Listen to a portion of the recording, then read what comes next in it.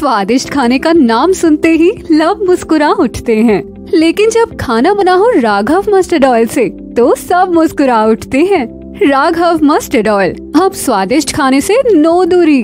100% शुद्ध सरसों के दानों से बना जिसमें है ओमेगा थ्री और प्यूफा मौजूद। एग मार्क राघव कच्ची घनी सरसों तेल।